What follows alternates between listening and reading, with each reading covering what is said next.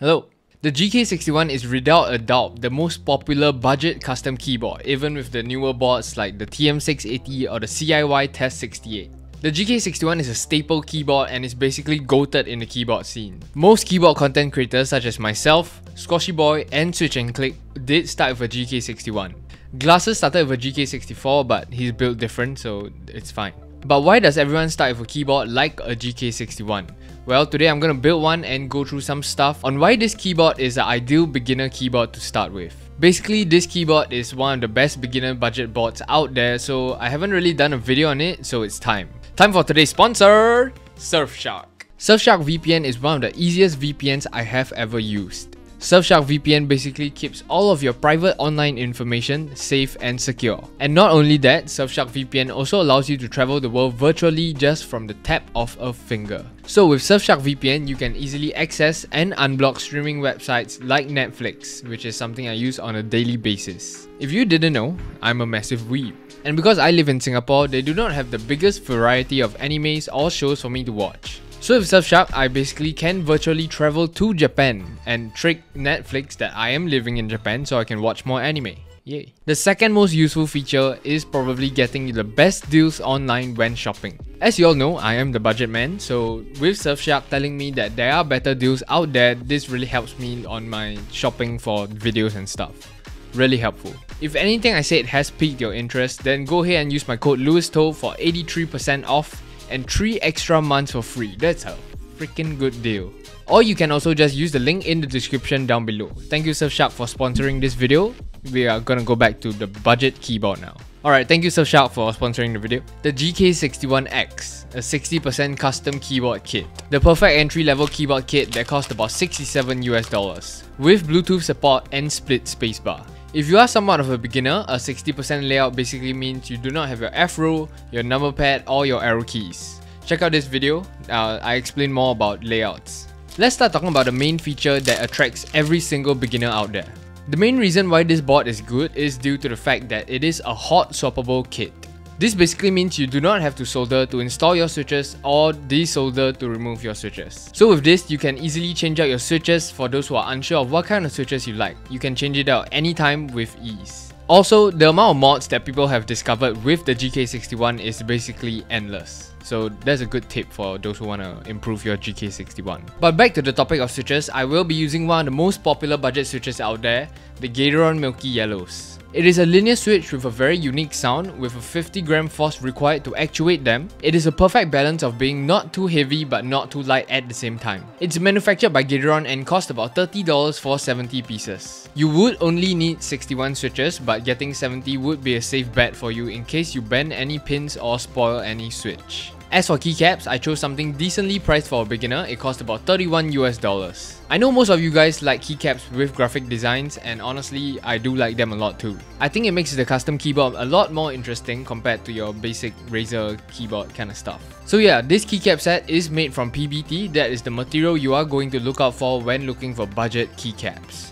As for the profile of the keycaps, it is OEM profile. OEM is an extremely basic and beginner friendly profile and most gamer keyboards actually do use the OEM profile. As I mentioned earlier, the GK61 has a 60% layout so you can basically use any keycap set because it doesn't require any special keys whatsoever.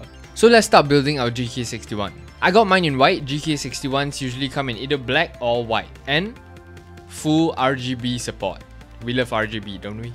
At the back of the case, we do not have any adjustable feet. Most custom keyboards do not use adjustable feet, instead they use these rubber bump-ons to prevent your keyboard from sliding across the table while you're doing your gaming stuff. For connection to your PC, you can either use the detachable USB-C connection, they do provide a wire for that, or you could use Bluetooth, and you do have to buy the version that is for Bluetooth. Starting off, we will be removing all the screws we can see at the top to remove our plate. What I'm doing is not necessary to build your keyboard, but this is a mod that I'm gonna teach you guys called the foam mod, which I think is a very simple mod that any of us can do. This simple modification is usually for cases made from plastic or sound extremely hollow, so a foam mod basically helps dampen the sound and makes it sound less hollow. Once you unscrew everything, you can remove your plate. Before removing your PCB, do take note that there is a wire connecting the PCB to the battery, so do not just yank it out.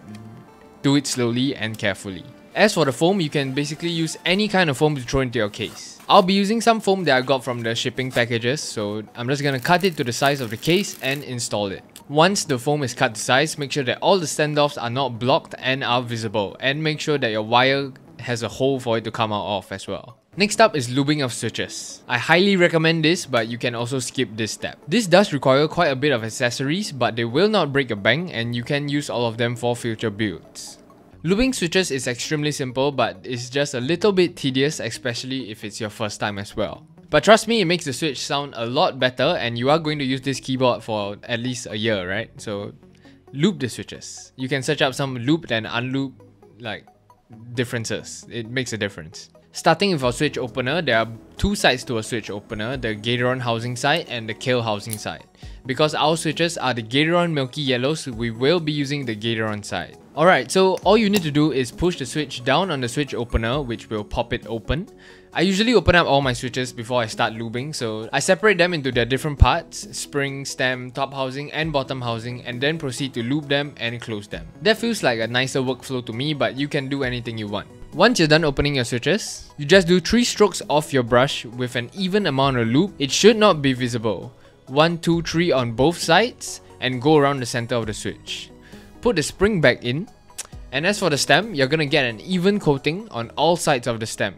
Put the stem back in, ensure that the stem is facing the correct direction and put the switch back together. Now all you need to do is repeat that process and spend the next 6 hours of your life lubing the 70 switches. That's how long I took for my first time lubing. That was the hardest part, congrats, we are on the easy part now. We are going to install our switches. Ensure that your switch lines up with the holes on the PCB. I'm not going to use any specific terms, but just make sure it lines up and install your switches. After installing your switches, do remember to snap a photo, take a video, you know, it, you might not see them after you put on your keycaps. And now for everyone's favorite part, putting on our keycaps. When putting on your keycaps, just take your time, take it slow, it is very calming and satisfying in my opinion, and take it as a reward for lubing your switches. Unless you didn't, then lube your switches, dude. And yeah, here's the final product. I'll leave a typing test at the end of the video. Overall, it is an extremely beginner-friendly board to work with. When I started, they didn't even have split space spacebar, so they are making constant improvements to the GK61.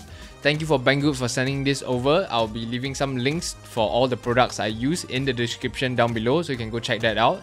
Also, thank you to Surfshark for sponsoring this video. Check that out too. But the GK61 is something I would definitely recommend to anyone who is trying to start in this hobby. So yeah, leave a like, subscribe if you enjoyed this video. I do make a lot of custom keyboard content. If you are new to the channel, subscribe, like the video, uh, comment something down below, comment if this helped or not, and what other tips you guys want. I have some other videos you can check out. I do switch comparisons and some beginner guides once in a while. So go check those out. I'll see you guys in the next one.